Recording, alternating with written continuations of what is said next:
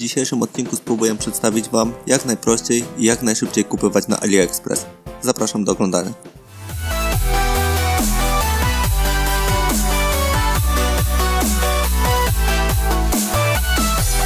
Po pierwsze, jeżeli język strony nie został wybrany automatycznie jako polski, polecam go sobie przestawić. Po drugie, jak na wszystkich stronach aukcyjnych, niezbędne jest posiadanie konta do zakupu jakiejkolwiek rzeczy, a więc przechodzimy do zakładki Przyłącz się za darmo. Zostaniemy przeniesieni do kreatora nowego konta. Na początku musimy podać e-mail, imię, nazwisko, hasło oraz przepisać kod. W późniejszym etapie konieczne będzie jeszcze podanie adresu i miejsca zamieszkania. Jeżeli konto mamy już założone, przejdźmy do zalogowania się na nie. Możemy przejść do wyszukania przedmiotu, który nas interesuje. Ja akurat potrzebuję do swojego komputera kabel i taki kabel sobie wyszukamy. Na stronie oczywiście podobnie jak na Allegro możemy podać sobie przedział cenowy, posortować aukcję na przykład cenowo od jak najniższej, ustawić sobie również sortowanie możemy po ocenie sprzedającego. Ocena ta, podobnie jak na Allegro, zależy od tego, ile sprzedający sprzedał przedmiotów. Tym zajmiemy się również potem.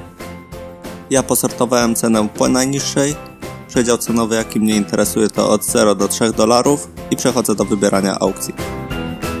Na stronie przedmiotu widzimy cenę, widzimy ocenę sprzedającego, opis aukcji, a na samym dole widzimy więcej produktów, również produkty od innych sprzedających i tutaj warto poszukać najtańszej interesującej nas aukcji. Ja interesujący już przedmiot znalazłem, widzimy, że kosztuje on 2,32 dolara.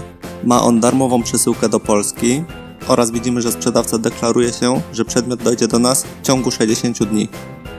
Kolejnym bardzo ważnym polem jest ocena sprzedającego. Na AliExpress jest zastosowany system przydzielania takich diamencików. Jeżeli sprzedający ma na przykład od 2000 do 5000 sprzedanych rzeczy, widzimy, że ma przypisane 3 diamenty. Widzimy też poniżej jaki procent opinii jest pozytywnych. Kolejnym bardzo ważnym punktem jest przeczytanie opinii o przedmiocie w danej aukcji. Najczęściej znajdziemy opinie w języku rosyjskim i angielskim, czasem ludzie dołączają również zdjęcia. Kolejna kwestia to wybór koloru i długości przedmiotu. Jest to o tyle ważne, ponieważ czasem w aukcjach zauważycie przedział cenowy, np. od 1 do 5 dolarów. To znaczy, że sprzedający oferuje więcej niż jeden przedmiot i musicie go wybrać z listy. Cena oczywiście zmieni się w zależności od wyboru przedmiotu. Chwilę wrócimy sobie jeszcze do oceny sprzedającego. Tutaj widzimy sprzedającego z dwoma diamentami i ponad 1000 sprzedanych rzeczy, a w innym przypadku 5 diamentów i prawie 20 tysięcy sprzedanych rzeczy.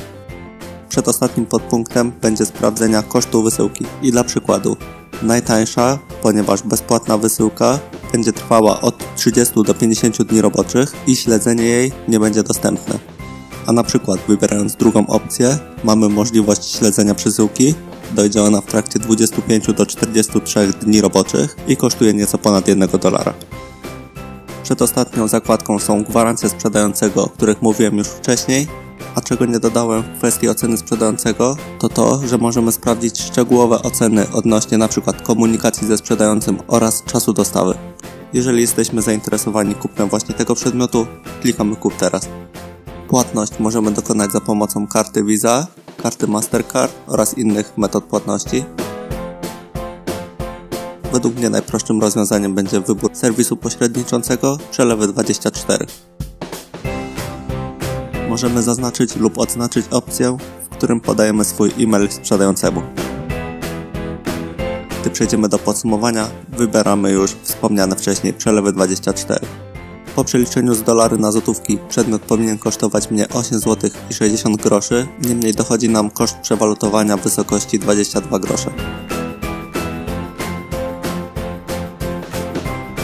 Ostatnim etapem będzie wybór banku, z którego dokonamy przelewu. Po wykonaniu przelewu wystarczy, że będziemy sprawdzać status wykonanej płatności. Na maila powinniśmy dostać kilka wiadomości. Pierwszą z nich będzie wiadomość, że przelew został zarejestrowany.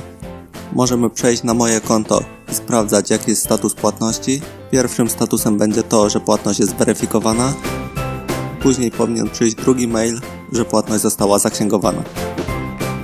Oraz trzeci potwierdzający sukces płatności.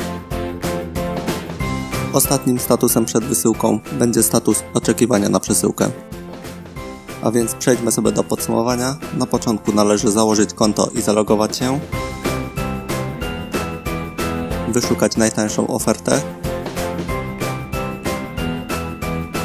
Sprawdzić sprzedawcę.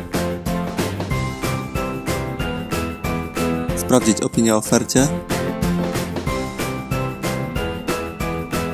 Sprawdzić cenę przedmiotu.